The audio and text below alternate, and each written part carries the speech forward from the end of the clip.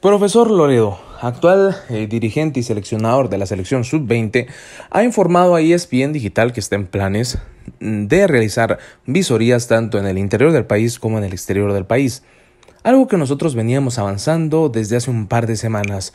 Todo esto y mucho más en el video.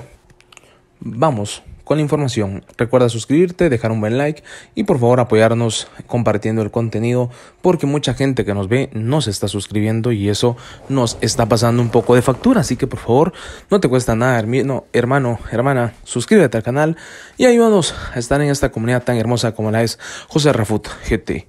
Y es que el profesor Loredo, encargado de la selección sub-20, ha informado que en su selección el día de hoy nadie tiene el puesto ganado. Es más, que aún no sabe ni siquiera quiénes van a estar en el premundial.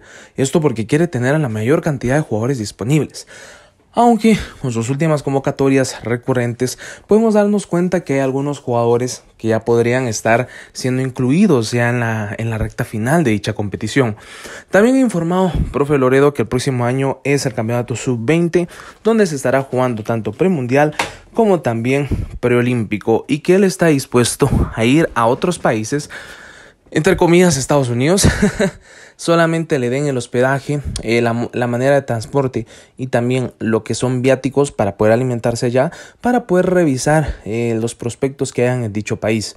Cabe recalcar que profe Loredo informado que muchas personas se han puesto en contacto con él y que le han dicho que por favor le den una oportunidad a sus hijos. Y eso pues llama mucho la atención. Profe Loredo advierte que de nada sirve ser el mejor en el área donde estás si no sales a jugar con otras personas. Profe Loredo está invitando a los jugadores de otros países que se pongan en contacto con él y así puedan eh, tener una oportunidad real en la selección nacional de Guatemala. Como también estén atentos a las comunidades tanto de fútbol como también de la federación donde probablemente en el próximo año se van a anunciar eh, las visorías. Lo que a mí me genera un poco de problema es la nacionalización de algunos jugadores. Recordemos que en el caso principal como el de Oscar, jugador que debutó en la, sub, en la USL One con 17 años con el Unión Oaxaca, eh, no tiene papeles guatemaltecos. Él, él, es de papá y mamá guatemalteca, mas no tiene papeles guatemaltecos.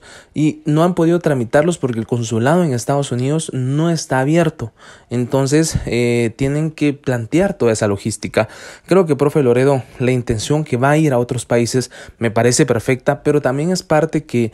Eh, si él se puede dar cuenta, ojalá que mire estos videos y se pueda tomar lista que hay que llevar de una vez un delegado que apoye en el trámite todos los papeles para agilizarlos, porque ya en abril del próximo año se tendrá lo que es la competición internacional. Y es ahí donde Guatemala necesita estar con lo mejor de lo mejor de la liga guatemalteca como también del eh, campeonato internacional. Recordemos que jugadores como Kevin Ramírez eh, jugadores como Matius Gaitán van a ser tomados en cuenta. Kevin está siendo titular con los Toros de Malacateco y Matius está siendo titular con eh, el equipo B de Municipal que está en la tercera categoría.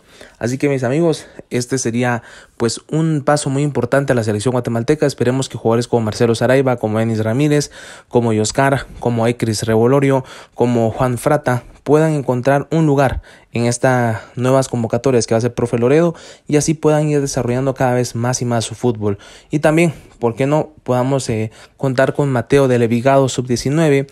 También que se pueda tocar incluso con Arquímedes y a todos ellos le sumamos a, a, Anderson Ortiz, a Kevin Ramírez, a José Franco también eh, y a Matius Gaitán. Yo creo que Guatemala tiene una muy buena selección.